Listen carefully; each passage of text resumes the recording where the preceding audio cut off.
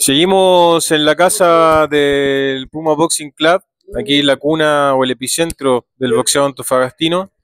Estamos con dos talentos perlistas, hechos en casa, que representan siempre la bandera de Antofagasta y de Chile cada vez que suben al ring.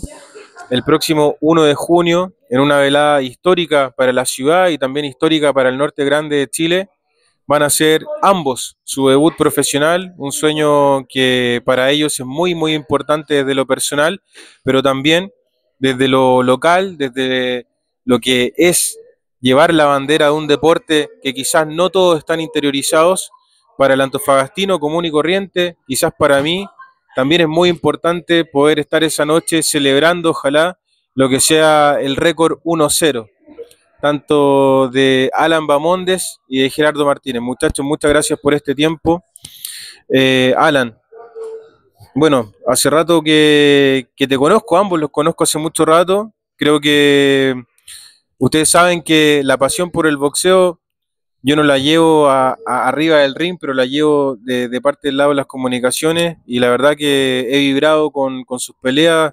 Hemos transmitido muchas peleas en nuestro canal pero ahora toca quizá el evento más importante de sus vidas, de tu vida. Eh, ¿Qué pasa? ¿Qué pasa en tu interior? ¿Cómo, cómo se prepara un debut así? Si, si se puede contar algo así. Sí, no, bonito. La verdad es que era algo totalmente diferente a lo que estamos acostumbrados. El boxeo profesional es otro deporte, el amateur. No, nos costó, pero la verdad es que disfruté tanto el proceso, lo soñé tantas veces, toda mi vida, de hecho, desde que comencé o desde que tengo uso de razón, quería debutar profesional y ya hoy día se cumple, todavía no le tomo el peso a lo que voy a hacer, pero la verdad es que ha sido una preparación complicada, difícil, de mucho esfuerzo, pero ya estamos la última, ya, ya gracias a Dios se dio todo como queríamos. Gerardo, para ti, ¿cómo ha sido este proceso? Eh, a nivel nacional se, te ha etiquetado como un gran talento, como un gran prospecto. Eh, vas a debutar profesionalmente en tu casa. ¿Cómo, cómo puedes describir también esas sensaciones? Eh, estamos casi una semana en realidad, así que ¿cómo, cómo se vive por dentro? Eh, bueno, primero que nada, buenas tardes gracias por la nota. Eh, no, la verdad es que yo estoy súper contento porque como todo boxeador yo creo que el, sueño de nosotros, bueno, el sueño máximo es ser campeón del mundo, pero el primer paso que es el más importante es debutar como profesional. Bueno, eh, la preparación ha sido fuerte, como siempre. Yo al menos no he parado hace ya más de un año que estamos, vengo de la selección chilena compitiendo en el tema de los panamericanos, estamos full con el Alan, entrenamos todos los días, vivimos en el gimnasio, entrenamos tres veces al día, a veces hasta cuatro. Y para mí es un sueño cumplido esto. Eh, estoy muy feliz de vivirlo, me siento muy tranquilo porque he hecho las cosas súper bien. Eh, mi preparación ha sido, yo creo que un 20 de 10 estoy en la mejor condición de mi vida en este momento. Estamos a una semana de la pelea y me siento súper tranquilo, más que nada ansioso que nervioso. Y nada, pues, eh, súper feliz de poder hacer lo que me gusta, vivir de esto, comer esto, respirarlo. Y nada, a, esperar el día que ya estoy ansioso por, por el knockout. Alan, hablábamos con, con el coach Hugo, con el coach José, y le preguntábamos cómo ellos pueden identificar no solamente el sueño de un joven que quiere ser boxeador, sino que en el camino alguien que llega a entrenar acá por mejorar una condición física, por qué sé yo, por esquivar los problemas de, de la casa, del colegio. ¿Cómo tú te diste cuenta o cómo realmente fue ese llamado donde tú dijiste esto es lo mío? ¿Fue el primer día? ¿Fue en el transcurso de, de tu aprendizaje? ¿Qué, ¿Qué le podemos decir a la gente cómo un boxeador le, hace clic, dar la tecla cuando uno dice ya, esto, esto va a ser mi vida?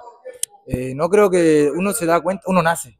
La verdad que uno nace con eso. Yo soy de familia futbolera, full, todos son, todos son futbolistas, tengo tres, cuatro primos que son profesionales.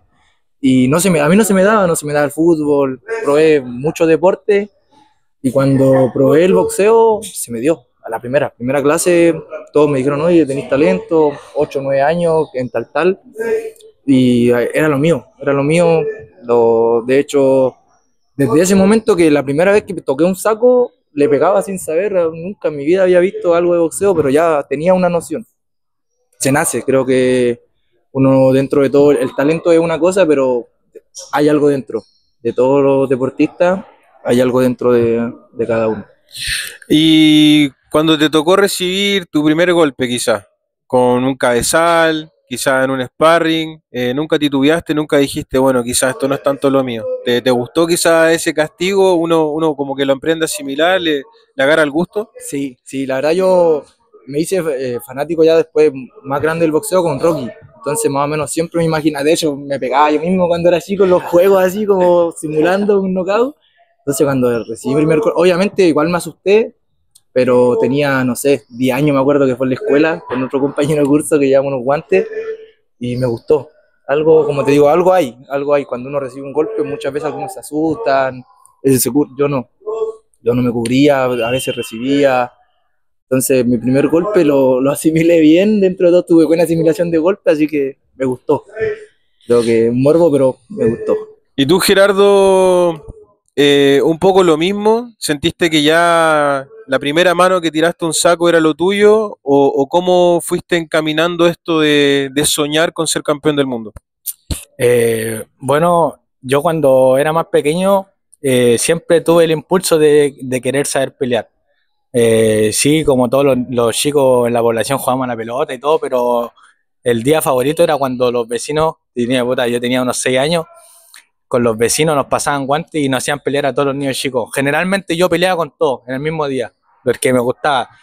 Eh, después más adelante, como los 7, 8 años, estuve en karate igual. Estuve igual, destaqué también, pero nunca me gustó porque sentía que no, como que no, no podía, o sea, se pegaban en la guata y no, no me gustaba, sentía que faltaba algo. Pero generalmente a mí siempre me gustó pelear. Eh, muchas veces cuando iba a jugar a la pelota y todo, siempre terminaba peleando. Y yo sentía ese impulso de querer saber, eh, buscaba, buscaba, de repente ponía, me acuerdo de las primeras veces que iba boxeo, ponía en YouTube eh, el mejor boxeador del mundo, o boxeadores peleando en la calle, cosas así, porque esa era mi mente. Cuando uno se cría en la población, a la final, la mente de uno es querer como ser el, ahí no sé, el que las lleva, entonces yo buscaba siempre boxeadores peleando en la calle cosas así, me, y me gustaba. Yo más que nada quería aprender para eso. Después me acuerdo que una vez vi un video de Muhammad Ali donde sale esquivando como 20 golpes y ahí dije yo, "Ah, esto me gusta.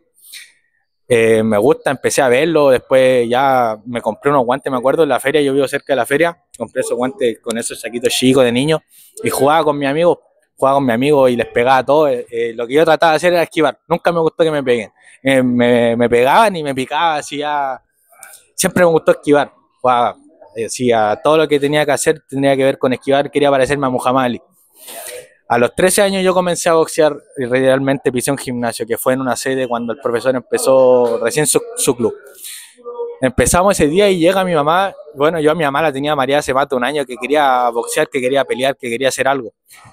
Y mi mamá me llevó ese día porque había un afiche justo en nuestra esquina de la casa de un nuevo club de boxeo.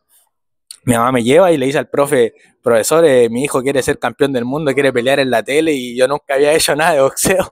Entonces a mí me dio vergüenza igual. Y claro, el primer día, cuando ya empezamos a tirar los golpes, el profe me dijo si había entrenado antes y todo, le dije que no, que había visto videos. Entonces tenía igual, como dice el Alan, el, como el condimento, se, nos, se los dio bien. Y yo creo que ahí, desde ahí en adelante, se, me empecé a enamorar de poco del boxeo, ya cuando fui a empezar a hacer mis primeros sparring, cuando el profe ya me hacía los paragolpes, pero nunca pensé que iba a llegar tan lejos, la verdad. Recién empecé a asimilarlo, yo creo que de los 16 años en adelante, dije yo, yo quiero esto para mi vida.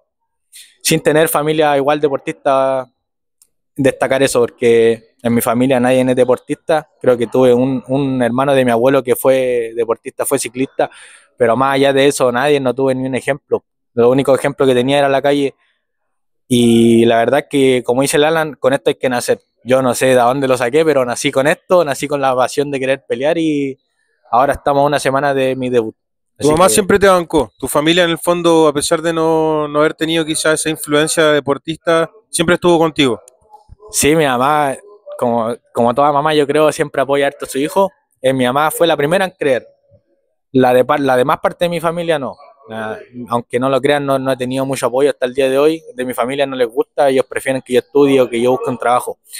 De hecho, cuando yo salí de cuarto medio tenía que hacer mi práctica y me llamaron a la selección chilena y no me querían dejar y yo me tuve que arrancar. Yo quería seguir mi sueño. Y siempre lo supe, siempre lo supe de cuando empecé a pelear, ya de las 10 peleas en adelante ya supe que esto iba a ser lo mío y quise luchar hasta el último. Quise luchar hasta el último a pesar de todas las contras que me pusieran. Quise yo solo eh, salir adelante con el deporte. ¿Tú, Alan, nunca ni un drama con tu familia? ¿O por ahí alguien dijo, estás seguro, piénsalo bien, qué sé yo? Sí, sí, varios. Eh, yo igual somos de población los dos, entonces la población igual se vive eso, se respira lo de pelea, de aquí, de allá. Yo igual vengo de una familia muy conflictiva, entonces a todos se nos daba a pelear, pero cuando yo quise hacerlo como deporte, ya era como todo, oye, ¿de verdad te querés a eso? Oye, estudia, oye, hace esto, trabaja. Y no, sí, muy complicado. De hecho, yo creo que ya, igual como mis primeras seis, siete peleas, como que ya, de hecho, un profesor que es muy querido, yo lo quiero mucho, que falleció, Víctor Seura, fue como que le dio la tranquilidad a mis papás. Porque mi papá, mi papá y mi mamá de primero fueron los únicos dos, los únicos tres con mi hermana que full apoyo. Full apoyo, vamos con esto, es deporte, algo diferente a lo que estamos acostumbrados, entonces ya apoyemos, te vamos a apoyar, solo cumple. Así que cuando estuvo Víctor Seura le dijo, este niño tiene condición, ahí mi papá recién como que dijeron ya va algo tiempo. Así que desde ahí ya yo creo que de mi quinta, sexta pelea ya como que ya mi familia asimiló que, que es lo mío. Y ya no, no, me, no me salgo por nada.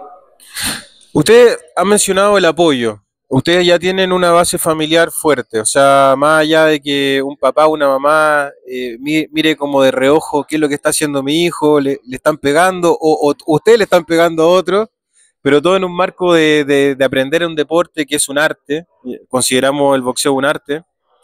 Eh, ¿Cómo han luchado con eso de, de no ser tan popular un deporte que para practicarlo ya se requiere cierto talento, cierta habilidad? Como ustedes lo, lo, dicen, sintieron dentro algo especial y que ustedes lo están demostrando y por eso eh, lo van a seguir demostrando y sobre todo el, primero de junio, el próximo sábado. Pero ¿qué pasa con eso de, de pedir apoyo o, no sé si esperar que te apoyen, pero ¿qué, qué es lo que ustedes sienten que, que genera este deporte o, o esta red de, del boxeo que por ahí uno tiene que remarla tanto para montar una velada, para que ustedes se vistan con ropa, para que tengan buenos guantes, para que, para que tengan un buen bucal. ¿Cómo, ¿Cómo ha sido quizás también el apoyo que han recibido ahora? Porque me imagino que una velada tan importante eh, no es llegar y pelear, o sea, me imagino que hay mucha producción, se nota en los afiches que hay bastantes auspiciadores. Eh, ¿Qué le podríamos contar a la gente? No a modo de, de pedir nada, sino que de, de entender un poco ¿Por qué, no sé, vemos en el tenis muchos sponsors, vemos en el fútbol muchos sponsors, hasta en el básquetbol veo sponsors, pero ¿qué pasa con los sponsors del boxeo? No, yo creo que es, falta cultura, falta cultura de boxeo, explicarle un poquito más a la gente que esto no es violento, porque hay mucha gente que quizá eh, que no entiende, piensan que esto es violencia, que nos queremos pegar por morbo, pero cuando ya después hay auspiciadores que se dan cuenta que no es así, que somos atletas, dentro de todo somos atletas de alto rendimiento, somos igual, igual que otros deportes. Ya, la mayoría de los auspiciadores que empiezan con una vez, después se enamoran y no paran más con el boxeo. Entonces, gracias a Dios, cuando recién empezamos con, el Jera y el profe a, a, con este proyecto, nos complicó. La remamos full caleta, caminamos un montón, eh, nos craneamos la cabeza cómo buscar auspiciadores, porque es muy difícil. Gracias a Dios se nos dio todo, de a poquito salió R&R Mining, salió el Terminal Pesquero, el Mutan, un montón de auspiciadores que de a poquito, que gracias, gracias a Dios, yo creo que Diosito los puso para, tanto esfuerzo, yo creo que, se nos dio eso. No, igual nosotros en las cartitas que mandábamos mostrábamos nuestros logros todos los años que venimos trabajando, entonces era cosa de tiempo de que se nos diera, se nos diera para que todos los, auspiciadores pudieran llegar por cabros esforzados. Dentro de todo somos hartos bien cabros esforzados. Eh, hace poco, bueno, no hace poco, sino que algunos meses atrás los vimos entrenar en Argentina, estuvieron haciendo pasantía o entrenando también en el país vecino, que hay mucha cultura de boxeo. Eh, ¿Cómo ustedes, si le podemos contar a la gente, también hay mucho esfuerzo en cómo ustedes viajan, cómo ustedes se mueven? Eh, para ese viaje, por ejemplo, ¿tuvieron apoyo o cómo se la arreglaron para, para costear su día a día, su alimentación? Un deportista de alto rendimiento como ustedes, sobre todo un boxeador, tiene que consumir mucha proteína, tiene que estar constantemente hidratándose. Eh, no, no, no es comer cualquier cosa, ustedes tienen que comer eh, buena alimentación. ¿Cómo, ¿Cómo se la arreglaron, por ejemplo, cómo se la arreglan cuando tienen que ir de viaje o en esta etapa de Argentina que para mí fue, lo vi por las redes sociales, ustedes estuvieron bien activos en Instagram sobre todo, eh, daba orgullo verlo en ese escenario porque tantos campeones del mundo argentino y uno pareciera como que, ah, están en Argentina, como que están muy cerca, pero en verdad es estar en otro mundo. Eh, no, fue, primero que nada fue una experiencia increíble, yo nunca había salido del país, de hecho, súper pocas veces viajé con mi familia, todo lo que he viajado yo es por el boxeo, a pelear, campeonato. Así que no, yo estaba muy contento. El viaje lo, lo sacamos a base de, de, una de la misma gente que nos apoya. Yo hice al menos una rifa con 300 números, imagínense, los vendí todos. Eh, también tenemos auspiciadores que nos ayudan a sustentar nuestra carrera porque como boxeadores, eh, le cuento un poco de mi horario, nos levantamos temprano en la madrugada a hacer nuestro primer entrenamiento, llegamos, descansamos, desayunamos, entrenamos de nuevo, descansamos un poquito más y en la tarde tenemos que entrenar de nuevo, eh, llega la noche y se te pasa el día volando, entonces no podemos como trabajar tampoco. O sea, si es que lo que, lo que uno quiere es ser grande, tiene que hacerlo así. Y si es que tú trabajas 8 horas y entrenáis 2 horas en el día, no lo vayas a lograr. Al menos así lo vemos nosotros y tenemos que agradecer mucho a nuestros auspiciadores que nos ayudan a sustentar nuestra carrera, como lo es mi nutricionista, el, Brian, el gimnasio, el Mutan, los suplementos, el Suple King Kong, ¿me entiendes? Los entrenadores que igual nos habilitan el gimnasio este, el ZR repuesto, que a mí por lo menos me da una mensualidad para también comprarme mis cositas. Eh, ahora tengo igual huevo, Antofagasta, me está apoyando, entonces, pero antes de eso no había nada, antes de eso, antes de ser campeón nacional, eh, costaba mucho más, costaba mucho más, pero a base de ello ahora estamos saliendo adelante.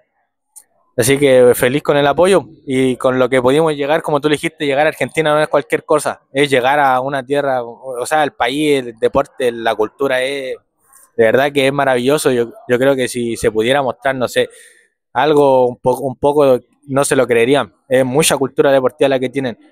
Camináis cinco cuadras y una villa que tiene toda la rama de los deportes, ¿entiendes? Y yo creo que por eso tienen muchos deportistas y mucho, mucho deporte y mucho logro por lo mismo. También yo creo que lo más importante de allá, muchos pensarán, no sé, ah, porque es Argentina o esto, porque es Chile, porque somos chilenos, no. Yo creo que lo más importante allá lo que tienen es la mentalidad que comparado al, chileno es diferente. Yo creo que esa es la ganancia. También se ve mucho en el fútbol y yo creo que en el boxeo se nota más. ¿Qué pasa? Yo cuando hablo muchas veces con los boxeadores en las competencias acá en los nacionales, eh, no sé, pues les pregunto, hermano, ¿cuándo peleáis tú? Oh, hermano, peleo mañana, ojalá ganar. O hermano, peleo mañana y me toca justo con él. Allá siempre con esa mentalidad. En Argentina nosotros llegamos y un niño que estaba empezando decía, no, yo voy a pelear y voy a ser campeón el otro mes siempre la mentalidad esa. Yo creo que ellos se crían con esa mentalidad, entonces por lo tanto llegan a donde quieren estar sin problema. Yo creo que esa es la gran diferencia. El, el camino de ustedes yo creo que nunca se ha influenciado por la riqueza. Por ejemplo, conocemos mucho el fútbol, el interior del deporte profesional llamado fútbol, y de repente un futbolista que quizás no tiene tanto éxito gana mucho dinero. Y por ahí la conquista del futbolista no es conseguir títulos, sino que es conseguir quizá un bienestar económico que le permita un buen pasar, un buen futuro. Creo que, o por lo menos lo que yo rescato de ustedes, de, lo, de lo que los conozco, de los que lo puedo observar, tanto arriba del ring como fuera del ring, a ustedes lo que les motiva es ser campeón. O sea, si hay una plata o un maletín con billete en el medio del ring, ustedes les da lo mismo. Ustedes quieren un cinturón, ustedes quieren representar la bandera de ustedes como deportistas, pero también de, lograr e, eso que, para un boxeador es lo máximo. O sea, ser campeón, tener un cinturón, ser ahí quizás celebrado arriba del ring, con una algarabía, con gente aplaudiéndote.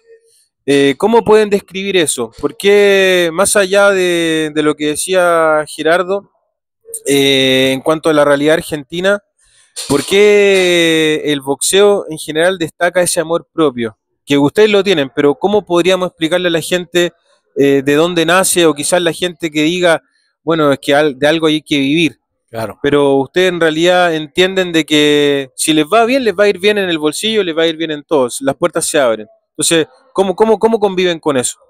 Eh, bueno, igual en nuestro caso es complicado porque ah, No, sí, pues, en el momento no hemos visto lo que es eh, la recompensa en modo de billete y tampoco nos importa en este momento. Para nosotros, al menos para mí, eh, yo igual ya soy rico interiormente en poder dedicarme a lo que me gusta.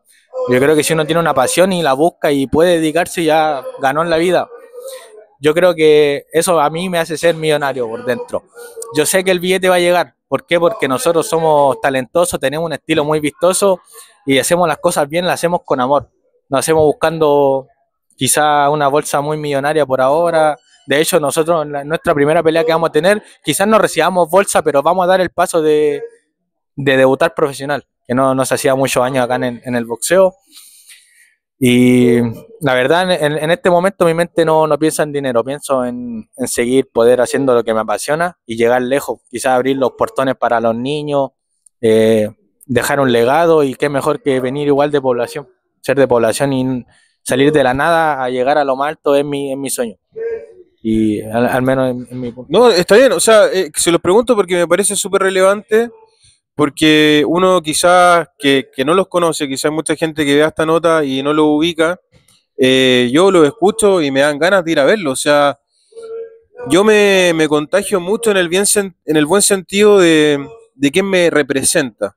Eh, valoramos mucho este, este poder que tiene el antofagastino para quererse a sí mismo, para querer su tierra, pero nunca le prestamos atención a lo que hace el resto. Y lo que hacen ustedes me parece que no solamente por, por lo que han realizado durante su carrera, durante su vida, sino que lo que genera tener quizás como reflejo lo que decían los coaches, un ídolo o una representación que se simboliza en ustedes. Entonces, eh, está súper bueno que lo cuenten. Tú, Alan, no sé si quieres agregar algo sobre esa motivación. Creo que es lo mismo que, que habla Gerardo. Eh, lo que dijo el profe recién, Antofagasta le falta un ídolo. Creo que nosotros queremos apuntar ahí, más que tener plata, queremos ser un ídolo. Porque plata, puta, se puede tener de muchas maneras. De muchas maneras puede ser empresario, trabajador. Pero creo que gloria o reconocimiento son pocas las personas que lo tienen más en un deporte, en un deporte que nosotros amamos, que estamos dispuestos a todo. Nosotros tenemos 22, yo tengo 23, Gerard tiene 20 años y estamos dispuestos a todo. Estamos dejando nuestra vida de lado por el deporte. Entonces, somos, ya somos felices, ya somos felices en lo que hacemos. Y eso, eh, queremos ser, yo personalmente, yo quiero ser un ídolo aquí en Antofagasta. Quiero ser que cuando se hable de boxeo, se hable de Alan Mamonde, se hable de Gerardo Martínez, se hable, no, que estos cabros son aquí, eso es lo que busco, es lo que buscamos. Creo que los dos tenemos el mismo sueño, somos, nos hemos hecho como hermanos en estos años porque tenemos la misma mentalidad, el mismo sueño y luchamos todos los días. Somos súper esforzados en ese sentido porque tenemos la misma mentalidad. Entonces, pues igual conectamos tanto los dos. Por lo mismo, vamos a debutar el mismo día los dos juntos. Subámonos arriba del ring. ¿Qué es lo que ustedes sienten que tienen que los tiene fuertes de mente. Cuando, por ejemplo, hablan de estilo. Eh, de repente, en otros deportes uno entiende que los buenos son los que ganan, que los malos son los que pierden. Pero en el boxeo, más allá del récord que uno pueda tener o el récord que ustedes puedan, conseguir en su carrera, eh, siempre es lindo ver un estilo, alguien que te identifique, le vaya como le vaya. Entonces, ¿cómo, cómo tú te defines, Alan, en cuanto a lo que ofrece arriba del ring? Me imagino que tu rival igual debe estar pensando, me toca con Alan Bahamondes, no, no, no, no es una, una papita, me imagino que debe estar preocupado. Pero tú, ¿cómo, cómo llevas ese plano de tu estilo? ¿Cómo lo adaptas? ¿Cómo, cómo prevalece Alan Bahamondes arriba de una pelea? Yo, la verdad que me siento de todos los estilos. Creo que me acomodo todos los estilos. Si me toca fajarme, soy un buen fajador. Si me toca boxear a la media distancia, peleo muy bien a la media distancia, a la larga distancia igual. Me acomodo a todos los estilos, entonces no, no me genero como con el estilo, yo soy solamente este estilo. Tengo, tengo de todo, tengo de todo un poquito, eh, me, llevo años de trabajo, entreno harto para, para tener eso, para tener de todos los estilos. Claramente alguno me acomoda más que el otro, pero en todo me va bien. Y eso, creo que el primero de junio se va a ver un espectáculo de todos los estilos, del estilo que, de que el Pugil venga a proponer, yo voy a proponer mi estilo y, va a haber un choque. Tú, Gerardo, bueno, eh, el que no te ha visto pelear, me imagino que se va a llevar una grata sorpresa el sábado, pero los que, hemos te, lo que, los que hemos visto pelear, sabemos que, que, tú también le pones un sello muy característico, sobre todo a nivel defensivo. Eres mucho de esquivar, prácticamente no te tocan en las peleas. Eh, y de repente te vemos jugar con eso, como invitar al rival, baja mucho la guardia. Eh, ¿Cómo te estás preparando para, para el primero de junio? Y, y si ese estilo también es lo que tú consideras que es tu marca registrada, si, Sí. si consideras también que ese es un estilo que, que puede vender en el afuera, proyectando quizá el Total. futuro. Mira, eh, cuando, bueno, ¿cómo nace primero mi estilo? Yo cuando llegué aquí al gimnasio las primeras veces, eh, bueno, no había muchos logros aquí, no había como tener un referente, un campeón nacional ni nada, como lo, lo somos ahora nosotros. Y bueno, yo siempre he sido muy observador, siempre he sido muy observador y con algo, y eh, me gustaba el boxeo, entonces yo decía, ¿por qué, por qué no? ¿Por qué no, no hay algún referente? ¿Por qué no tenemos más campeones nacionales? Y me empezaba a fijar y veía que todos boxeaban igual, todos boxeaban con las manos arriba, iban adelante y en el sparring se tiraban a matar. Y bueno, yo como le decía, veía a Muhammad Ali, que esquivaba y de ahí como que nace mi inspiración. Después cuando yo empecé a, tratar de hacer cosas así, no sé, esquivar con Mayweather, porque intentaba siempre probar cosas, me equivocaba acá, pero en las peleas no. Entonces cuando empezaba eso siempre faltaban, nos faltaban los que decían, ah, eh, Mayweather hay uno solo, o no herí este, no herí lo otro. Y yo siempre supe por dentro de mí que iba a ser diferente, porque yo, iba yo podía ser alguien mejor que los que ya habían y dejar, no sé, eh, mi propia marca. Así nace mi estilo.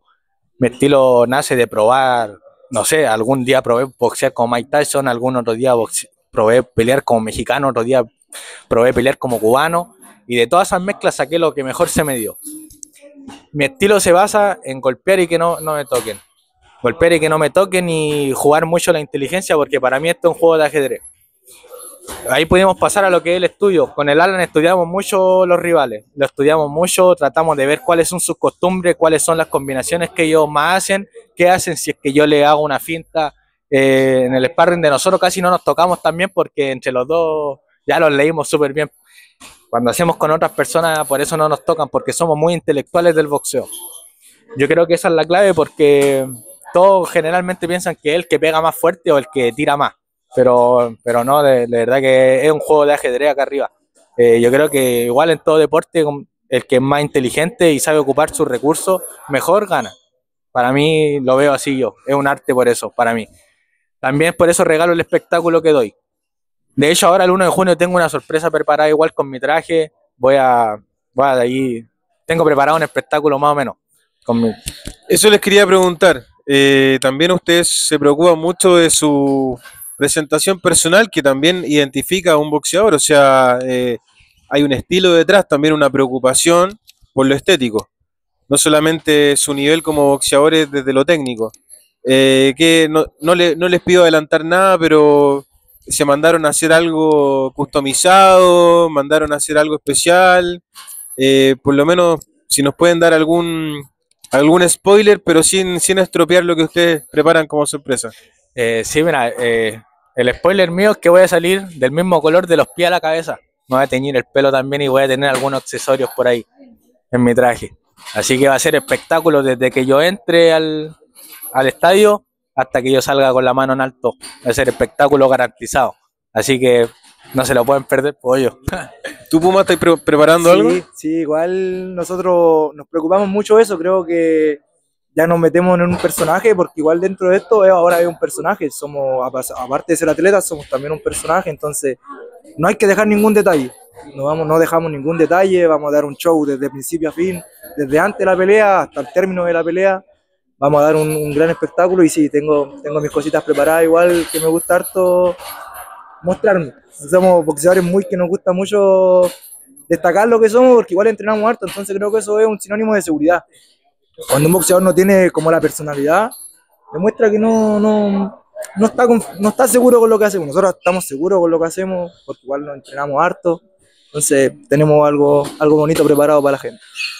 Hablando de la gente o de la expectativa que ustedes, me imagino, la idea es llenar este gimnasio.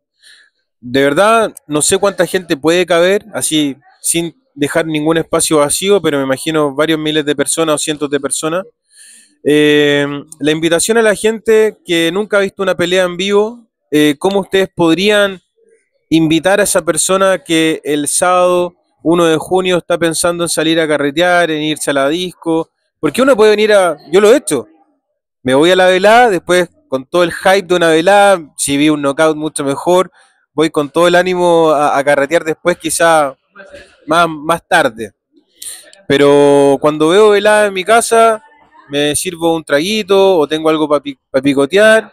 Y en el fondo igual vivo esa emoción, pero la emoción de ver un evento en vivo, como lo que ustedes están preparando, creo que no, no, no se podría describir, o por lo menos no sé si ustedes lo pueden describir. Sí, es algo, es algo lindo. Creo que nosotros nos ha tocado ser eh, preliminares de eventos gran- grandísimos acá en Chile, títulos latinos, títulos sudamericanos, y se vive algo diferente. Creo que los eventos profesionales se vive algo que no se vive en, cualquier, no sé, en una cancha de fútbol. Yo soy muy futbolero. Se siente algo parecido al fútbol, pero el boxeo es algo imprevisto. En cualquier momento hay un splash, en cualquier momento hay algo que, que no se está acostumbrado a ver. Entonces la gente que está recién en esto, que, la- que se está recién viendo, creo que van a ver eso. Una sensación que nunca han sentido.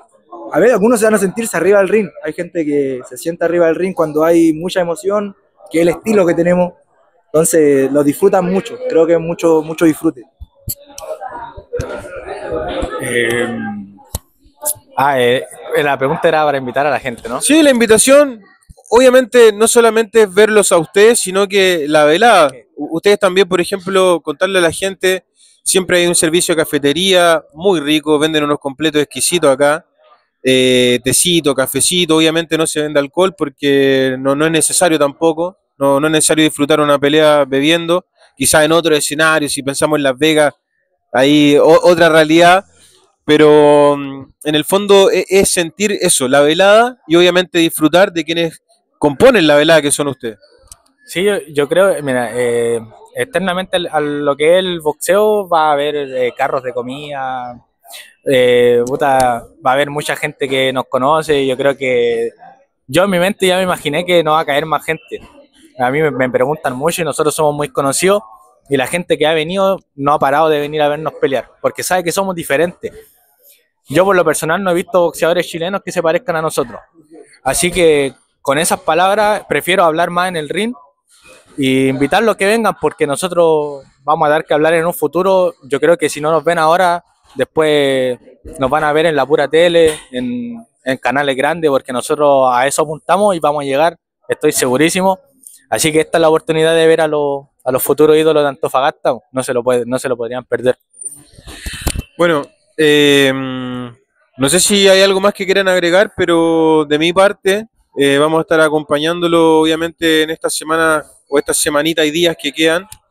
Eh, este quizá es el primer producto que hacemos a nivel de promoción para apoyar obviamente la difusión del evento, pero también eh, yo en lo personal me siento muy identificado con usted porque yo por ahí no, nunca soñé con ser campeón del mundo en boxeo, pero sí un deporte que le agarré mucho cariño, que lo conocí tarde, me hubiese encantado conocerlo más chico, quizá eh, eh, en la edad que ustedes lo conocieron de, infantes prácticamente, pero considero que la individualidad del boxeo eh, genera una representación incluso mayor que la del fútbol.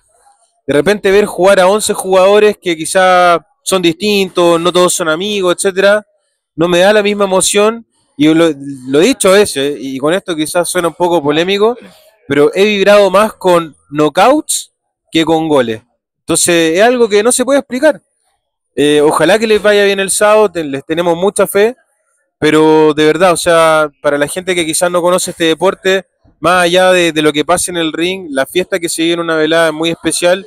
Y bueno, agradezco que también ustedes nos, nos abran este espacio como medio de prensa porque no solamente estamos para apoyarles, sino que para, para verlos crecer y para verlos triunfar. Eh, no, eh, gracias a ti, de verdad, porque así la gente igual, bueno, quizás no por completo, pero nos pueden conocer un poco más eh, cómo somos. Yo creo que la explicación a lo que tú decís que te hace vibrar más el boxeo que con otro deporte es que tú podés jugar básquetbol, podés jugar fútbol, podés jugar tenis, podés jugar ping-pong, podés jugar cualquier otro deporte, pero boxeo tú no podés jugar. Tú pestañaste y te noquean. Y está tu familia viéndote.